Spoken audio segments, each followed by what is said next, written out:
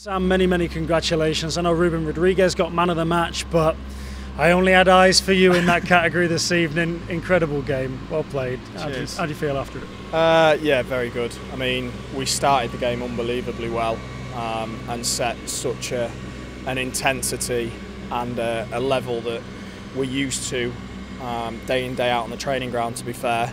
Um, and to start a game against a team like that really well um, it gave us a great platform to to kind of put the performance in that we did. Um, we spoke after Saturday about we was a bit disappointed with the intensity that we brought, and uh, yeah, we kind of we got the intensity we really wanted in that game.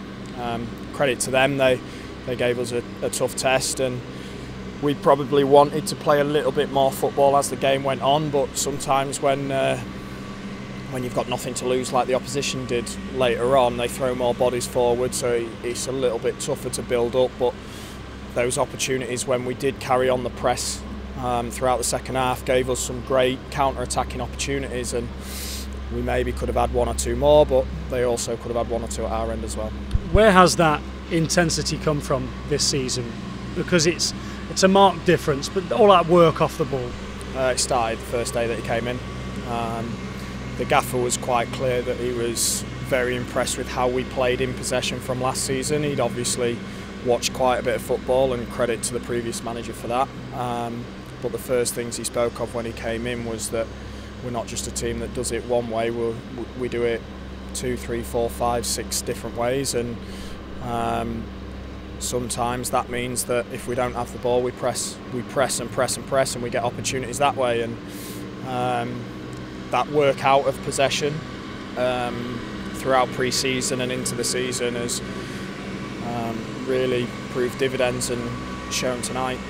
How different is it for you in goal, having all of that going on in front of you, and obviously you're involved a lot with the ball coming back and the switch of play, and sometimes you switch it from a goal kick. Yeah, it's um, it's a little bit different. Um, it, it, did take quite a bit of work in pre-season, and the gaffer credit to him with Ryan and Tom. They sat down with me and we watched quite a bit and we spoke spoke about quite a bit and we're working on it every day. It's not just something that we did for a couple of weeks. Um, but yeah, you kind of I'll get to sleep tonight and then I'll probably wake up about four o'clock because my mind's scrambled because um, just psychologically you're always in the game, especially the way that we play, the way that we defend. Um, you become an 11th player for the team and it's not a 10 players, one goalie, it's 11 players. Is, is that more so your, your brain scrambled and things like that on big nights? Like, is, is it easier to get to sleep and digest it all when it's a slightly quieter game for yourself? And is by proxy and the opposite tonight more difficult on the sleep front? No, I get to sleep pretty well. you are. I'm an old guy now, so I get to sleep pretty well. But I wake up early and then I struggle to get back to sleep. Probably not not about the game. Um, what I've found is it, it, it, tends to be if I get a chance to watch the game back before I can go to sleep, I probably sleep in a little bit longer. You, you've watched the game and you kind of, when you're in it, you see it completely different to how it was when you're when you watch it back. Um, but yeah, the adrenaline will flow a little bit tonight. Um, got a nice drive back, which will help relax it a bit. But they're just great nights, aren't they? Um, the crowd did their part; they were fantastic. And yeah, the atmosphere was great. So it, it's probably going to be a, a long one, but we'll, we'll, enjoy it. It's what it's about, though, isn't it? Like these these kind of nights. We've all been there now in recent years where you were playing behind closed doors and it was it was dead in here, and and now these these kind of nights, it's just a, like it's an explosion of life. Yeah, we, we literally we was watching the Marseille Sporting game just before the before warm up, and they had obviously had no fans, and we were literally just saying how couple of years ago or 18 months ago that was uh, it's not a very nice feeling. Um, and then I was chatting to Steve Parkin before the game because I know him from Scunthorpe, and he was talking about like the atmosphere today, how it should be, 10, 12,000. He said like there's not many teams in League League Two, maybe some in League One that won't get anywhere near that. Um, and that's credit to the fans that are here. Uh, they come out, wind, rain or shine, don't they, um, and show their support, and sometimes show their frustrations. Um, but I'm hoping most of the time this season that we can give them a little bit back for what they give us. And for you personally, like you've been here a while now and in the team and out of the team, but how does it feel to be the guy who's in the team when they look as promising as they probably have done since dropping down internationally?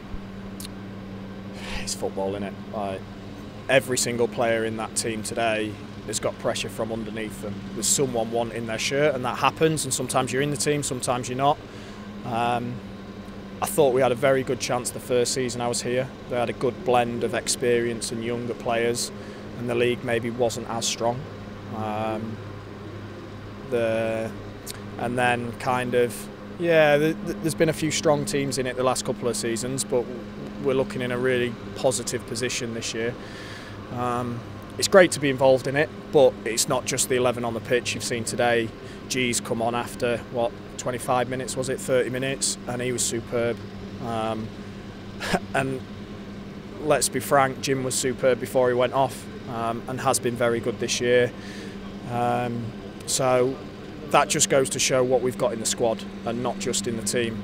Uh, you got Cairo that come on for the last 10 minutes and did a, brand, a fantastic job of holding the ball up making right decisions late on where he's back to play edge of the area where everyone probably knows he wants to try and turn and get a shot off because he's a striker but he makes a great decision just to keep the ball wide and we keep the ball we keep them in their half. Um, and it's just a feeling around the squad so yeah I, am happy to be in it but we've got players throughout the throughout the whole squad that are pushing for that team that, that opportunity and um, I think that's what brings the best out of everyone as well and if they honestly know that they've got a chance of playing as well, you've got the motivation and you've got the competition, and it's a great combination. Uh, it's only October, but Notts go top of the league tonight. How does that feel? It's a nice feeling. Like you said, it's only October. We have to make sure we back up tonight's performance with another performance on Saturday.